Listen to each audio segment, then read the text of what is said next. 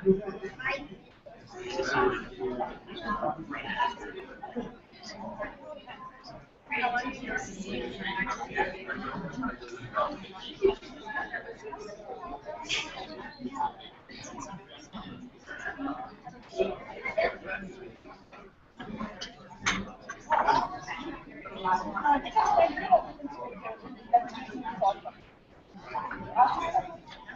you.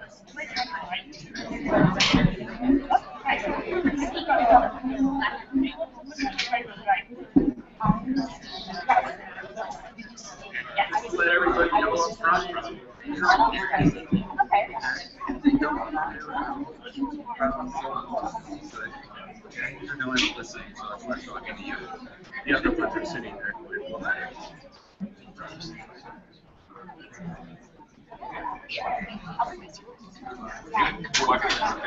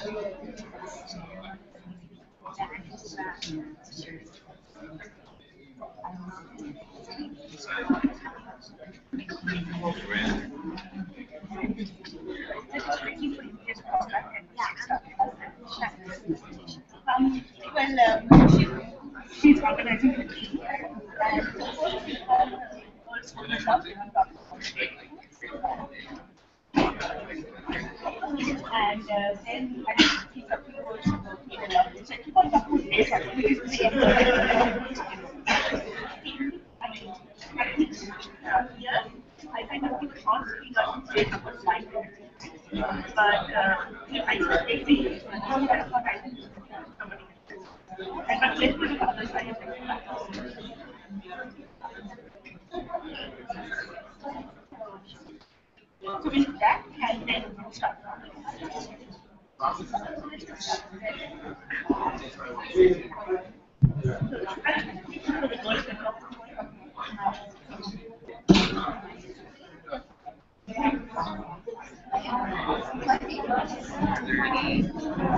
um, so get started. Um. So thank you all for coming to the Women in IT panel, the Desapa panel. Um, we have got three things, three events representing the past, present, and future of IT. So we are going to start with the future, which are all the of over here, and then we will talk about what they did in the winter coding.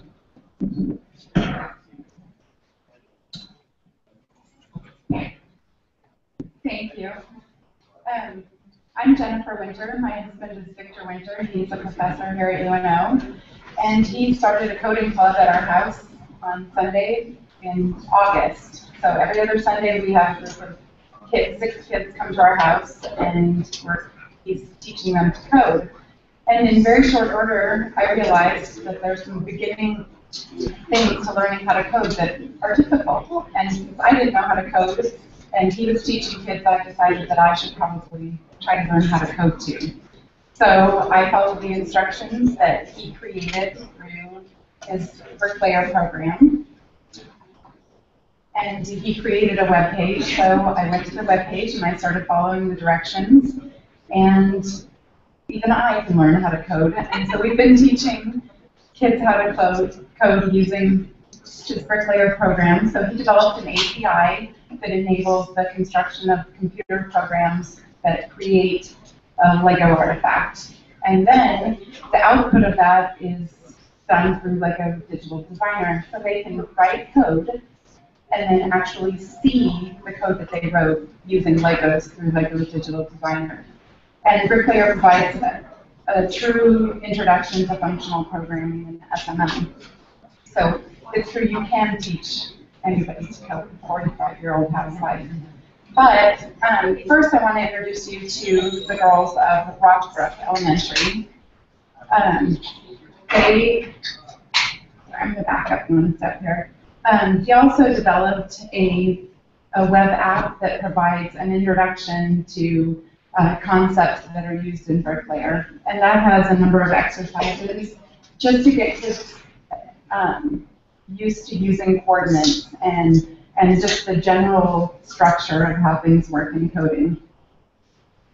So, having said that, I'd like to introduce three girls that are at the Rockbrook Elementary Coding Club. Can you guys come up, please? I'm going to hand you this microphone. So first, I'm going to introduce um, Lena.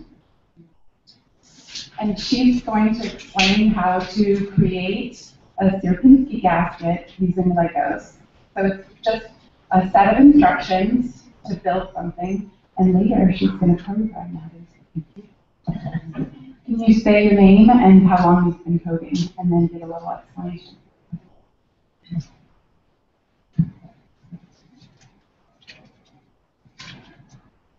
My name is Mila, and I've been coding for about three or four weeks now. Um, and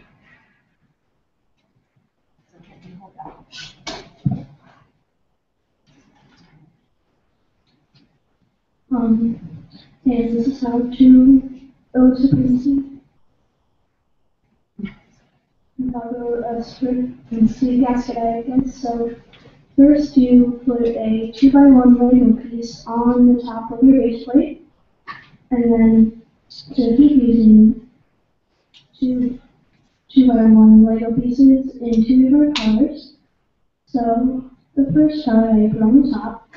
So the two dots are kind of like two eyes. They see negative space and positive, if one sees negative space, and the other sees positive space, put, um, the first color that you put on there.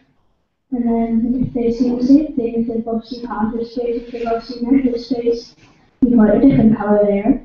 And it always, each line expands one dot on each side, so you stop when you can't go any farther, and then you start on the other side and it kind of builds a and it builds something like that. So that's how you do it.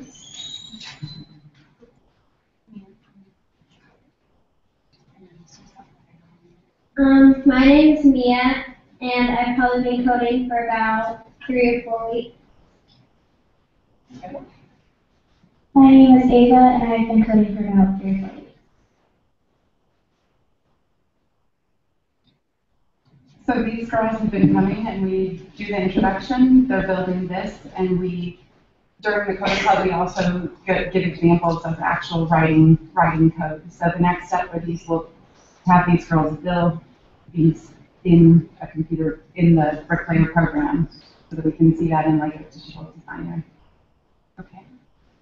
Um, so I,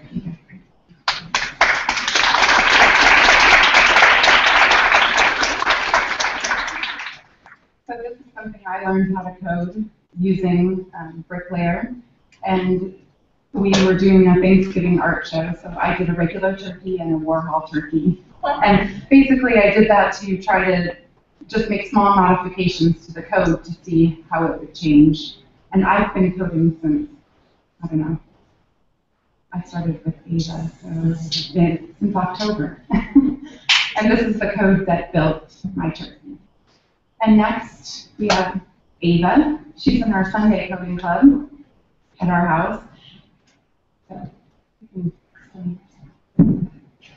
My name's Ava. I've been coding for two or three months, and in honor of Thanksgiving, a pilgrim hat. And so I basically, so I kind of color coded it, but I didn't have enough of one color, and so this part and this part is the buckle on the hat. And the rest is supposed to be brown, but I didn't have any So this is the code that she, this is the code that she used, and this is the output.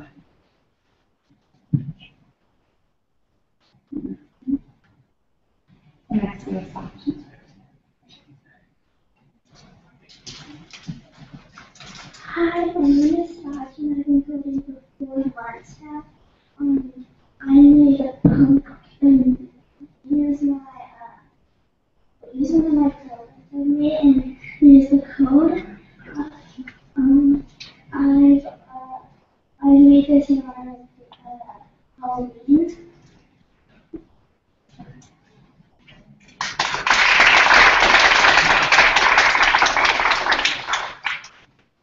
And the next is um, our daughter, Isabella.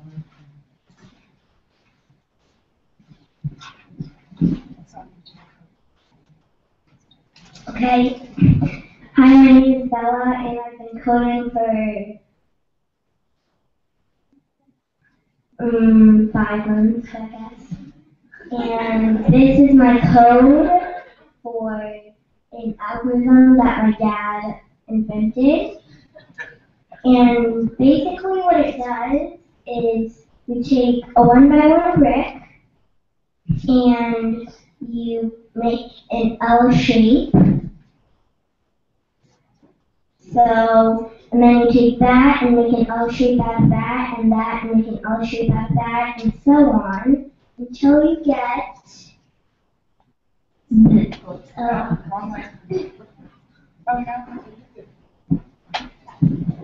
this.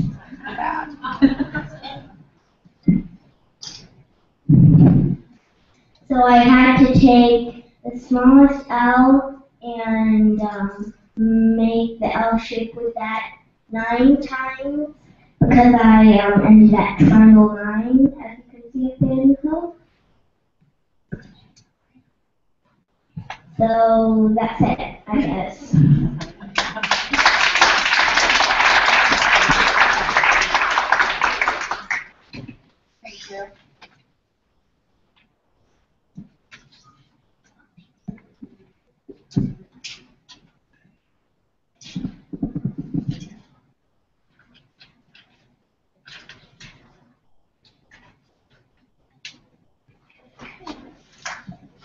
And that was really wonderful. So let's have another hand for all the girls.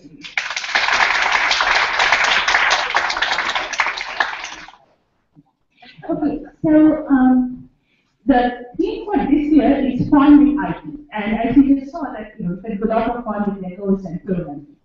Now, um, we like, I like to speak a few words about one of the in of women in.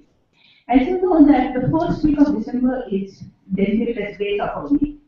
Uh, one of the reasons for that, I assume, is because she was born on, I think, 9th of December. But there was also somebody even earlier, a female pioneer in computer science, who was born about the same day, 10th December, uh, you know, if you see in your leaflet, Ada Lovelace. So Ada was the daughter of Lord Byron, the poet, and her mother, uh, named Anne Isabel Milbanke, uh, she was a mathematician actually. So, uh, Lord Byron actually, he wasn't really involved in his family life. He went up to Greece and he died by the time Ada was eight. But his mother, but her mother thought that uh, poetry would have kind of a bad influence on her life. So she did push her daughter to more mathematical, scientific studies. And that was not very usual at those days in the 1800s. Um, she was, so, since she was very young, she was exposed to maths, logic, scientific achievements. And one of the, well, not so fun facts is her mother also made her to sit still for several hours a day to have to kind of obtain self-discipline. And I don't know how good that is, but now um, she, was very interested in discovery. So around um, 1828, so that was when she was about 17 or so, she invented uh, a design for a flying machine. I mean, it didn't probably work, but it was still something to kind of think of and design a flying machine. But her main um, to fame was when she uh, talked, when she made uh, Charles Babbage, that was in 1833. Now, Charles Babbage had invented a machine called the difference machine. And the difference machine could do certain additions and computations as a machine, because there were no machines to do that, it was people working on it. So she invented or wrote code for working on that machine, and in a the first programmer, not the first female programmer, the first programmer um, Now, George Babbage had other ideas as well. So he had another idea called analytic machine, which would go beyond just addition and subtraction, but more complicated stuff. But he didn't really get funding from it from Britain because they said, okay, finish the differentiation and then we'll give you some money to do something else. But uh, there was this um, person in Italy who was very interested in. So he wrote a paper saying that the analytic machine is going to be very good and these are the things that can happen. What Ada did was she took this um, article written by the Italian in French and translated it to English. And not only did she translate it, she put in a lot of her own ideas of what the analytic machine can do. And this was kind of obscure research for a long time, and she didn't even put her entire name, she just put AAN, Augusta Ada Lovelace, she didn't even put her name on it. But recently, or, you know, about 10, 20 years ago it was discovered, and there's a lot of interesting ideas about, um, you know, how computation can be done in that very early stage. So one of the things that I found very interesting was she had theorized the concept of loops. So most of the little girls who worked on this design, they had to use a loop to keep on repeating the patterns. And back then in 1800, she, Ada had thought of, you know, using loops, etc. So one quote that is attributed to her in her daily life is, uh, he says that the analytic engine, put it to computer if you want to put it there. So the analytic engine weaves algebraic patterns just as a loop weaves flowers and leaves. So I think it's a very pretty way of posting it. So that's about her. Uh, it is Grace Hopper week, so if you want to look at Grace Hopper, it's on the other side. And she has a lot of achievements as well. So, um, okay, so that's about the biography part. Now, before we start the panel, um, I would like to introduce Sandy, and she's going to a about the red chair.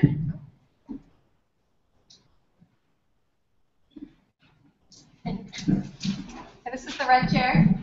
The red chair. So you can all see what I'm talking about. Uh, welcome. Uh, my name is Sandy Blaznik, as Sandra just said, and I am the coordinator of the Women in IT activities that we have here on campus. Uh, it's a pleasure to see you all today. Uh, we brought the red chair, and it's not somebody said, what does the red chair symbolize? Does anybody know what it symbolizes? Anybody want to make a guess? Somebody guessed one time it was the punishment chair. Absolutely not. not what I mean. The red chair symbolizes who's missing at the table. Right, and the problem that we're dealing with, or the challenge that we have, problem, but the challenge is to get more girls to come. I'm so happy to see you. Welcome. Excited that you're learning to code. Uh, we need more women and minorities at the table, and that's what the red chair uh, and, and what it means. And the name of the campaign is actually the Sit With Me campaign. So I'm inviting you to sit with me and encourage more women to explore computing and to choose IT as a career. So very nice to see you and enjoy the rest of the program.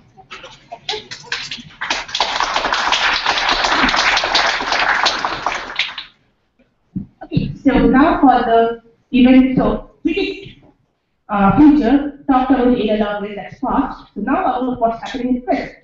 We have an exciting panel here, and they're going to talk about what fun they have with while doing life. So Ilya, who is my co-organizer, and me, we are going to start on the questions. Doesn't mean that we're the only persons allowed to ask questions. Just feel free to raise your hand and ask. And um, I ask the panelists to introduce themselves, and then we can start. I'm Delana Rodriguez, and I'm the director in IT at Blue Cross Blue Shield in Nebraska. I'm Stephanie Peterson. I work at Client Resources Inc. I'm currently a business analyst. I graduated about two years ago with computer science and IT innovation. I am Jen Etzler, and I am a manager consultant at Sogeti here in Omaha. I'm also our Microsoft practice lead. Hi, everyone. I'm Michelle Grozek. I'm a co-owner of Method Development. We're a software firm here in Omaha. And I'm a graduate from UNO 96. Go Mavs. um, I do a lot of uh, technical project spec selection, technical project management, and a little bit of programming. Okay, great. Thank you very much for your introduction. And the first question comes, what do you like most about your work? What, what do you like about your work? I guess I'll dive in. Um, I like, uh, because I'm an owner of a company, I get to touch all kinds of different aspects of it. Um, I love doing design of software, so when we have an idea or when a client comes to us and access to um, give them solutions. I help in the design process, so we're working with our tech team to do that. And um, I also really love um, testing software, so that's one of my passions. I love to break things and fix it. I like problem solving. When I was in high school, what I really enjoyed was solving math problems. I even had my math suit. I would put that on and then go to the kitchen table and really just delve into the math problems and really you could lose a sense of time and presence just like diving into that problem and solving it. And I can really find the same sort of thing delving into technical problems and just trying to find a solution that technical problem. And um, it's also similar to solving a puzzle. You have all these different pieces that really have no meaning by themselves. And um, by putting them together, you can really create an answer and maybe like answers to questions that haven't even been asked yet. And I just really enjoy solving that problem. I would also agree with problem solving and kind of designing the solutions. For the position that I have, it's client-based project work. So it kind of feels like you're always on the cutting edge of trying to figure out what's the best solution to the problem that you have, whether that's your business or um, whatever kind of project that you're looking at.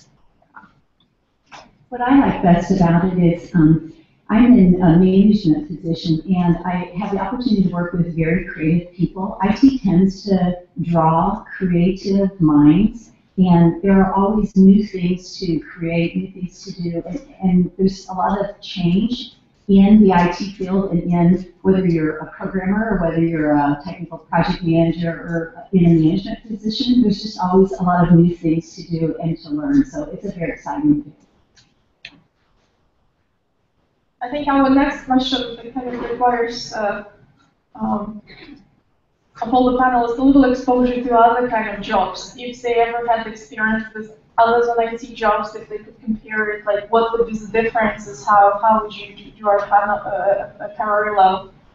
Um, any take on that? Yeah. so, um, most of my career has been spent in IT, but uh, prior to that, one of my hobbies was teaching contour. And so that requires me to be up a lot. and I'm creative in it because I come up with routine concepts, but um, I'm up, whereas IT, I'm sitting a lot. So that's one of the major differences. I sit a lot. So we have to go out and work, uh, go out for walks and stuff. Um, but one of the other things that I think really applies here is that you're using your brain a lot more when you're doing IT rather than maybe a physical labor. So when I come home, sometimes my head hurts. but like you, you just your mind hurts because and you're exhausted from that because you're really doing a lot of planning and you're doing or coding takes a lot, you know, thought process and thinking through the problems or debugging code or that. So it's a mental mental. One other thing that I think is very different is in IT, because technology changes so quickly, you're always learning. There's always new things to learn. And I think a lot of other jobs that you do maybe for a long period of time are very similar. They don't change constantly. But within IT, if you like change and like learning new things, it's a great um, place to be. And I also think it makes it challenging in a certain aspect because when clients can come to you asking for a solution, they already have a lot of different um, technologies that they work with, and you have to find a way to bridge those gaps.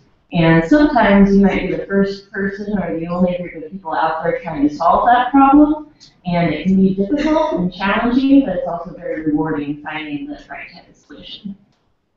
I think one thing that I found very different, I came, like in high school, I worked in the customer service industry, and so one thing that was very different for me was when I went into IT, all of my customers were now internal. For example, when I worked at 5 corporate, I was working for internal customers, um, and then the internal customers will take my product and help their internal, their internal customers, like maybe the cashier, the cash register, and so that was different for me. I'm no longer working with the public. I'm working with people within the same organization as myself. So, anybody from the audience care to chip in with a question? We have many people questions here, but yeah, please. Yesterday, Bella was coding and she said, boy, once you have two screens, it's really hard to go to one screen. How many computer screens do you have on your desk? At least two. At least two, yeah, two. I bring another one. Yeah. I want a third. And with the invention of the new 4K TV sets, um, I actually, for the price of two monitors, got about a 40 inch monitor, which is kind of like four monitors in one. Um, and no, it's just one giant monitor. It's pretty nice. So, I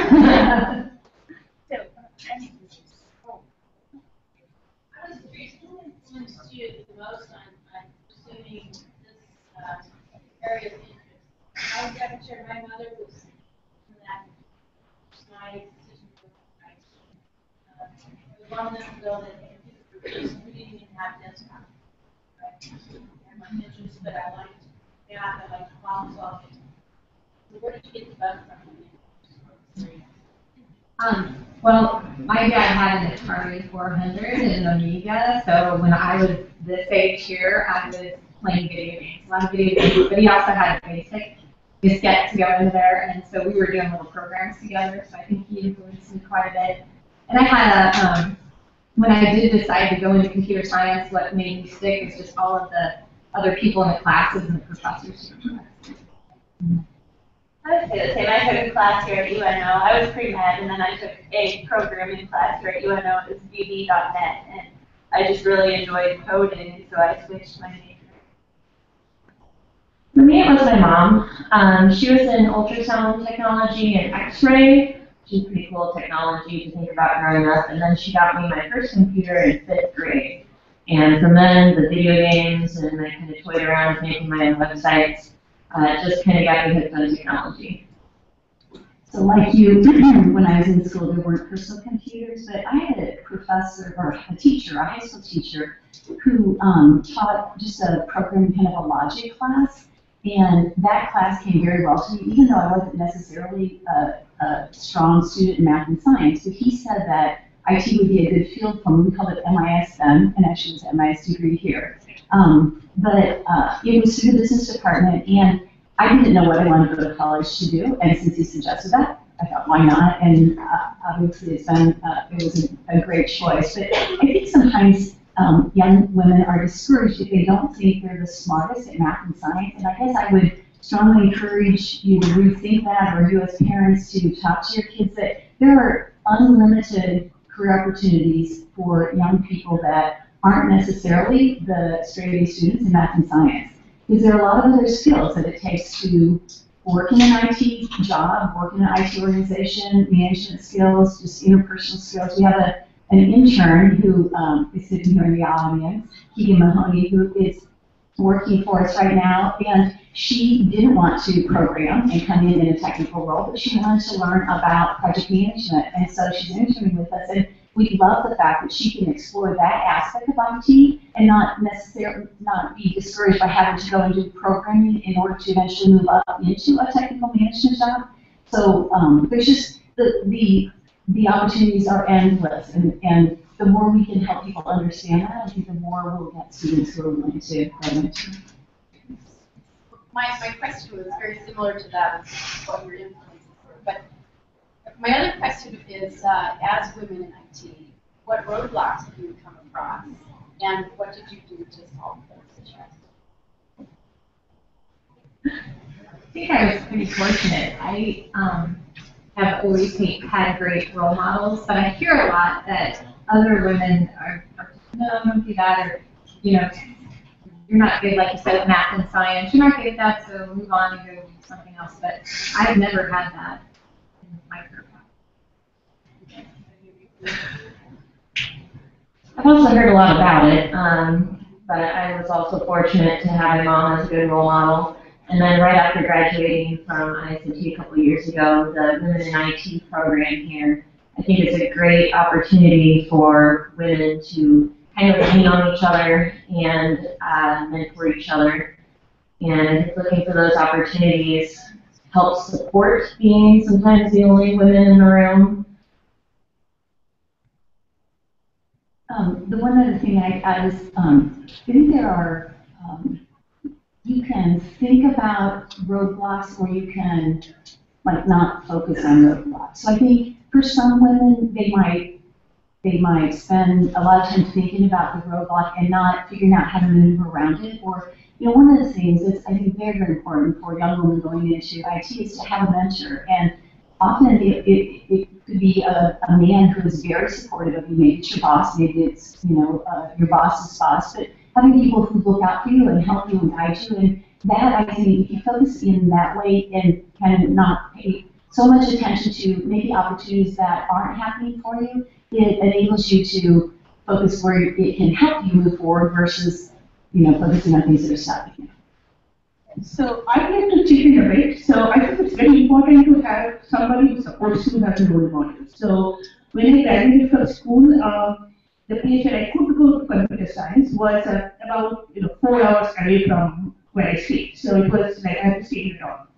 Now my best friend also got the similar marks and she could go there as well. But the family didn't allow her because they oh she's too young to be by herself. So you need to let go at some point. Anyway, so okay, so back to our list. And um, one thing that, that does kind of steady you into this is um, there's this idea that I have read in a lot of articles that boys are more interested in IT because there's video games that make them very excited. So video games is a boy field, they get exposed to it, and uh, you know that's how they come to IT. Now, as we saw here, that video game doesn't necessarily mean going and killing a lot of characters. There might be other fun things too. So uh, the question that we had is, um, is, do you agree with this thing that there's too much, you know, violence or adventure like video games that doesn't cater to girls and that's all kind of drives them away from the fun part? Or you don't? Do you think that, you know, there's still a lot of things that the girls can kind of get into, even if it's not work, it's fun, fun IT stuff that they can get into? I disagree with that. I played Nintendo when I was younger, and um, Super Nintendo, and I had a Game Boy. Um, Zelda was my favorite game, so I played Zelda a lot. Um, I suppose I'm out of touch now. I don't really have time to play video games anymore, but I don't think that you're more important. I think it all depends on your interests. So um, it's easy to overlook all the different types of games and fun stuff that we're doing, but having fun on Facebook, playing Candy Crush, playing puzzle games, there's still fun things that are technology based at the core. And if you're the only girl playing Halo, that's okay, or the only guy playing Candy Crush and asking for tips, that's okay too. um, it's still fun, and I don't think it's swayed one way. So, but uh, Pamela, do you think video games is a good way to introduce girls? Because I know that you know, some of you did start off with that. You did, right? But these games a good way to introduce people. I think it's a good way, but I think um, there are so many other things. Like if I could do it all over again, I would probably go check out robotics more because I think the robotics side of things. We often talk about, hmm, could we move over into that arena? It's just such a hands-on um, field. And, and then I also think um, designing, like a lot of us here have talked about designing software. And what these girls are even doing is they are, have found a problem and they're trying to build a solution. And so I think that as well you know, is, fun. We think games are a good way to get started. Um, smart games or games for learning uh, is a pretty interesting field, but uh, there are some games out there that you can use to learn programming.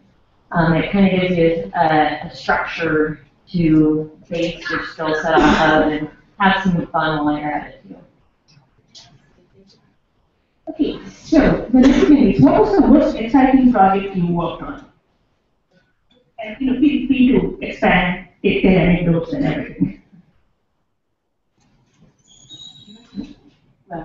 I'm, I, I wouldn't say it's exciting as much as just a great learning opportunity. We had um, a system that we deployed that didn't go well, and we had um, a lot of, uh, several weeks of having to have many people involved trying to get things fixed. So that was many years ago, but I remember that now just because it was such a learning opportunity. Sometimes you learn most in your job from when things don't go well. And uh, it's just something that's kind of stuck with me. I'm sure your projects are a lot more fun than mine. Um, I've worked on a variety of projects at work, but I would say one of my most fun projects was my senior project for my IT innovation degree. So it's like a senior capstone project where a year and a half was dedicated towards it. Um, and it was fun bringing an idea of my own out to see its fruition. So I got to come up with the idea and plan it and have a team to support me to build up the requirements and do some market research and stuff like that.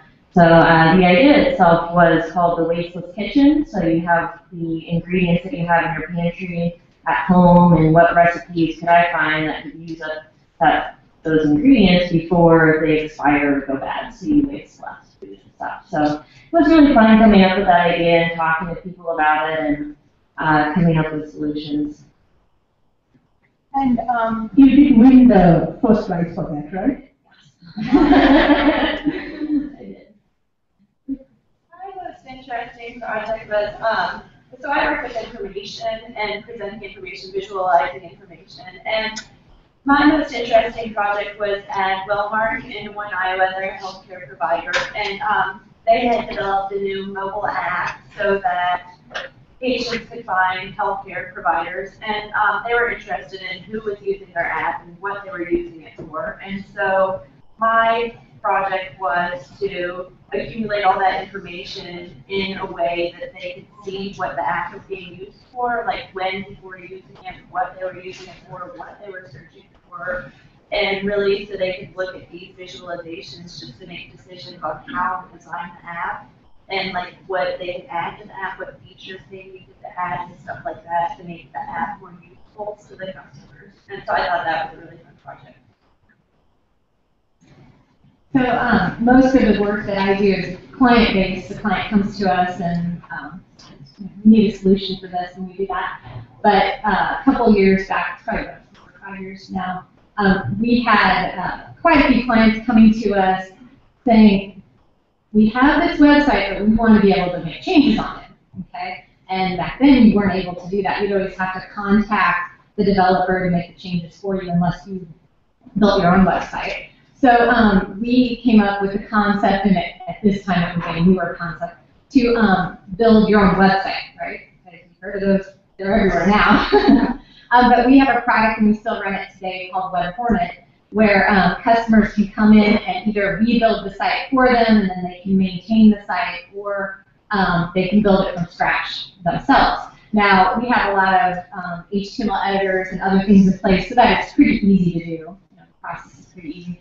But what was so great about this is we got to build it ourselves, so we were able to come up with the user interfaces, how that was going to work, um, the database design, how we wanted it to function, what functionality we wanted to give, and how easy we wanted to make it for the user. So we came up with all of that. In addition, once we had the whole product built, um, it was how to build a customer and do recurring billing. So um, we set up that whole process and um, then uh, how are we going to support this? So we have a whole customer service department around that and knowledge base and videos and so I mean it was just the full end-to-end you know product development and launch and support. So it was a lot of fun and I learned a lot from that. So if anybody mm, else wants, I mean, I know that other IT people around here too, too. If somebody wants to talk about exciting projects. yeah. Yes.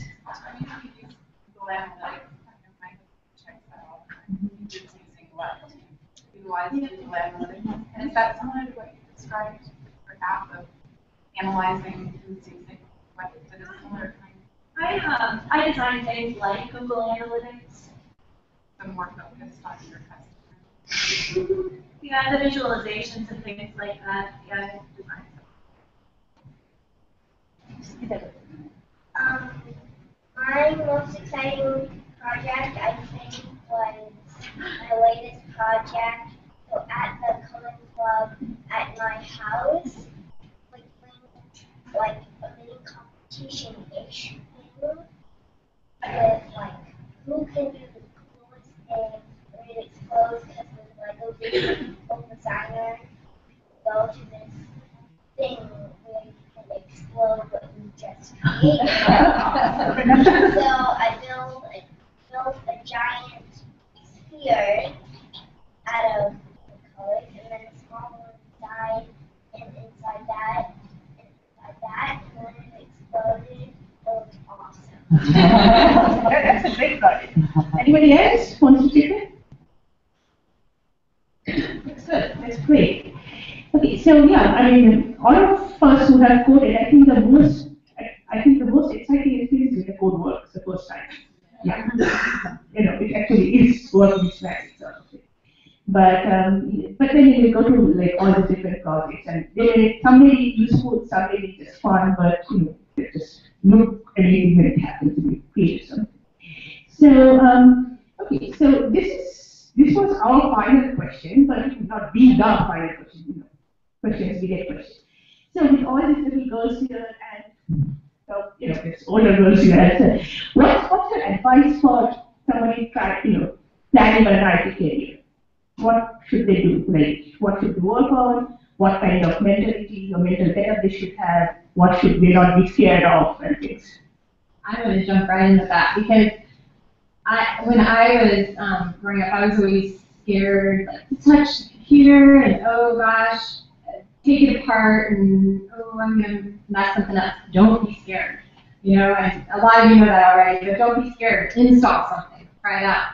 And you're going to learn a lot more from breaking your computer or you know breaking the software and and trying to fix it than you would if it just all went right. So break it, then fix it. But don't just let, and talking to the women in the room, don't just let the guys fix it. If you can't figure it out, work with somebody to fix it. Okay? So, what's your dream future? Inventing something cool, helping the environment, creating your own business? Whatever it is, chances are that coding can help bring it to life. Through coding, you can make apps, games, products, and more. Everyone starts somewhere, so take your first step and do your hour of code today. It's a project that Microsoft and Code.org are running right now. And if you Google hour of code, you can sign on to the site and do your hour of code. They're challenging 100 million people to do an hour of code.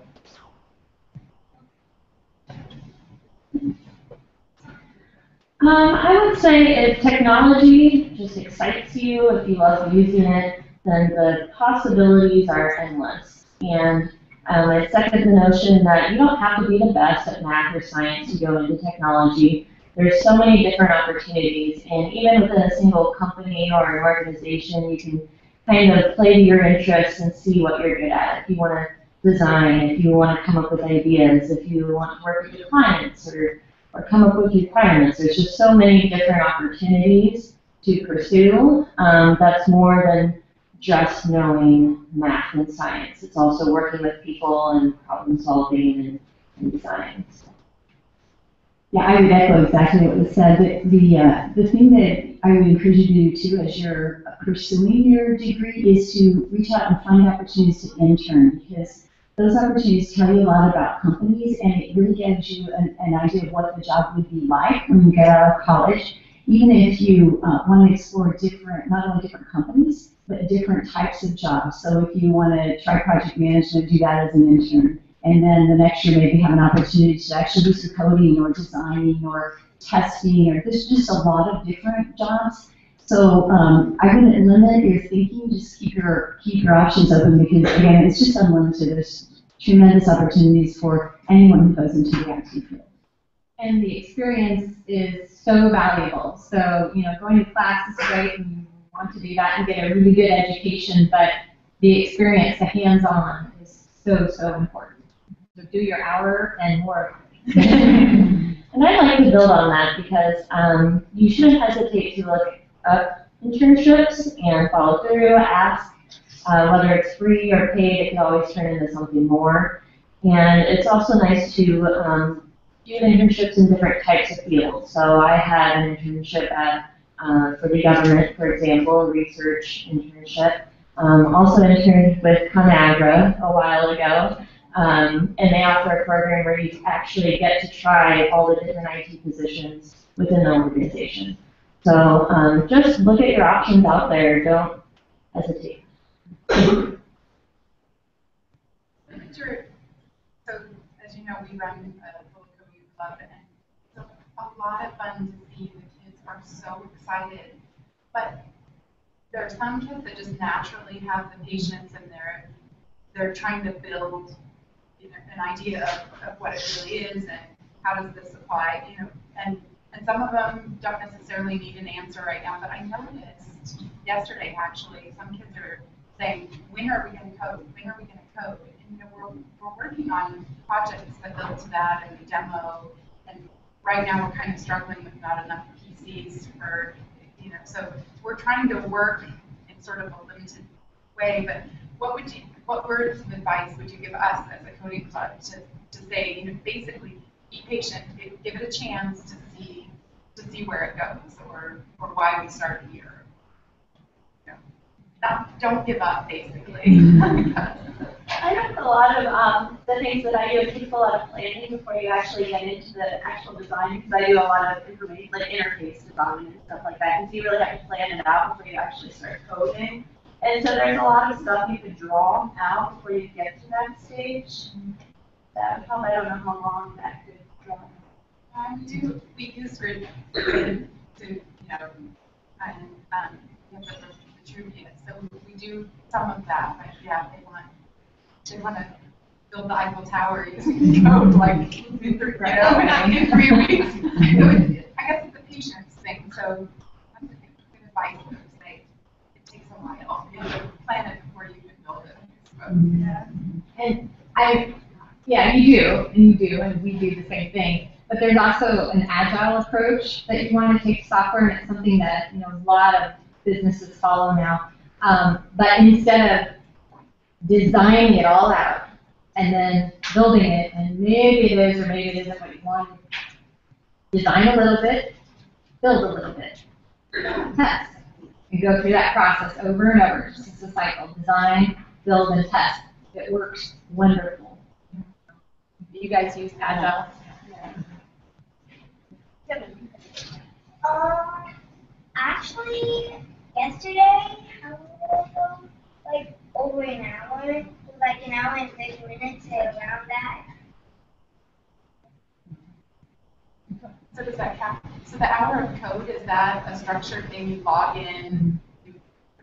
How, how does that work? Like if these girls want to go home and do that, how, how do you go about doing that? Does the coding that they've done count for an hour of code or is it something that Microsoft? I think it's structured through the code.org site. Okay. I think they have like set, um, coding programs that you can log in and there's different choices.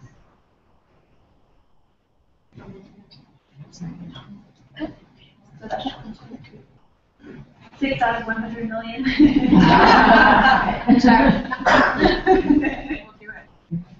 I, I, I have a question. Um, uh, with regard, uh, regard to stigma, I think there is certainly this uh, stigma that uh, people in IT are those antisocial creatures which spend uh, all day long sitting in front of a computer. And sometimes when you hear when people choose their careers, uh, they'll choose, I just don't want to do that. And I guess maybe maybe you touch on your experience. You're here in front of six young kids who will be picking their careers or speak their their peers. So what's what's your day like? And who who are your peers? Um, I'll answer that. Uh, so there are there are employees within Blue Cross that love to code and sit at their desk and not have a lot of interaction with people, and that's great. And there are a lot of people that actually aren't like that and are very social. And so bringing the social aspect to the work is awesome because those are the folks who make the team fun. Like they'll think of the, you know, uh, fun things to do. Like it, for example, we do agile development and it's a three-week sprint, but the first day is all-day planning. And if you think about spending all day planning, that sounds kind of boring. It does to me. I know it to a lot of them. But the fun, creative folks within the team will figure out how to make it fun. So they'll have a food day, so they'll bring in food, so there's fun food around to eat. They'll all wear jeans and more relaxed. They'll create like a trivia game to play in the middle of the planning so that it breaks it up. And so there are a lot of very creative minds that make up the IT community. And so it's not just what, you know, kind of the old stereotype of um, geeky, nerdy, I just want to, you know, do this. But those people that are very, very smart that code like that very seriously, we need them too. So it's great to have both aspects. And, and of course, a lot of people in between that like the social aspect, they may not be thinking of it, but love uh, being involved with it. Yeah, second that. There's a spectrum of, you know, whether you prefer you're more of an introvert or an extrovert, and there's opportunities in technology all throughout that spectrum. And maybe you might start out an introverted, head down in the desk, um, code out a whole solution. You might realize in a couple years you might want to try, or even a few months, um, that you might want to try something else. And and the great thing about technology is that there's just so many opportunities and there's so many different roles that you can fill that you're never really locked into anything like um, staring at a screen all day. That's not what you want to do. Hey, Grandpa. Okay, so that's um, about the end of the session, unless you have some final remarks for the girls. I guess I just like to mention, um, you know, we were talking about fun aspects of, of IT and video games, and robotics and all that, but uh, building a web page is a lot of fun. There's a lot of instant gratification in building a quick web page. So if you're trying to introduce somebody in, into that, building a web page is, a great way. JavaScript, using JavaScript and that, it's so quick and you can do so many things with it. Um, I don't know if you guys have all done that, but it, I remember building my first web page and I was here at UNO and go, wow, I just did that. you know, I made this appear on the screen. So it's a good way to encourage young people to get started. Yeah. Do you still have your math suit? I wouldn't fit anymore. Yeah, I that I also started on websites when I was probably 11 or 12. Um, I created a fan site for my favorite band at the time, Destiny's Child. Um, they. So um, it was a lot of fun, and it was something that I kind of lost track of through high school, and until I got to college and realized, oh, I really did have fun. I enjoyed making that stuff. It is really gratifying. Um, so figuring out that you like it as young as you can is excellent and keep having fun with it.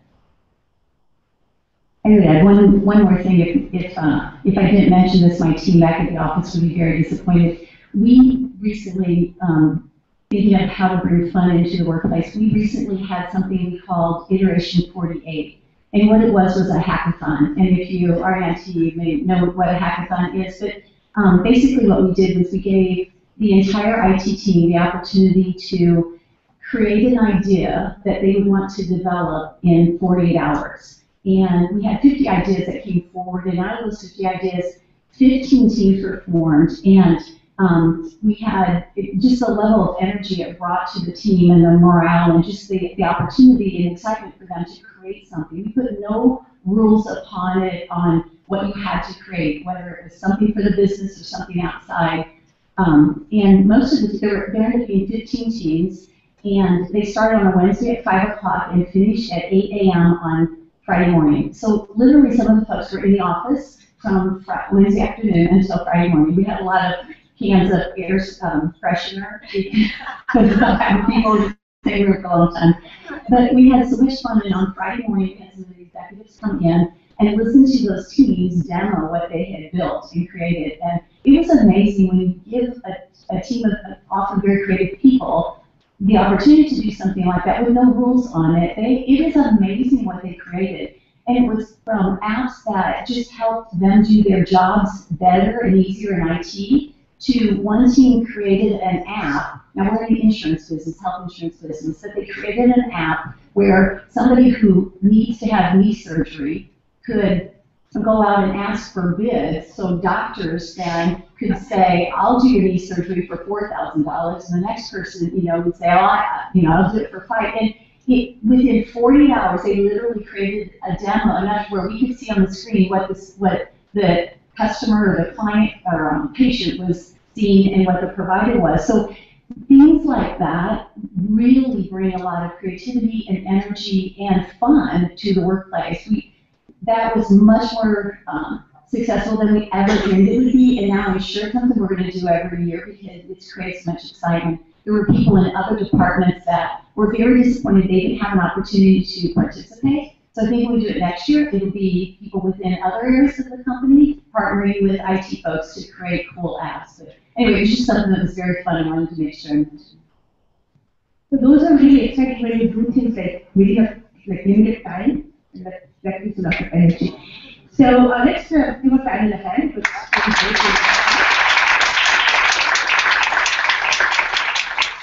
Um, I want to conclude with one thing. So we have been talking about participation of women in IT, and uh, if you look at the flyer on the two sides of it, so in the on the page of, of Ada Lovelace, you see that there is not much professional information there. So she was born, you know, she married, she translated a paper, so that's the one thing. But really, when I went to the web, went to the Google and other web pages, Wikipedia, it was basically she got married so and so, she had three children, and you know she died so and so. But if you look on the other side, about a hundred years later, with Grace Hopper, everything there is professional. I mean, she was married to, I don't know she had kids, but you know, she didn't have a family life. But those are not there. So it's it's not that you know you don't you don't you do balance both family and professional life, but as you can see in a hundred years, the professional things do get kind of highlighted. So if this trend continues, it does show that you know you are thinking of women in IT as professionals, not as hobbies, for example. So that's a positive trend. Let's keep it up. And thank you all for coming.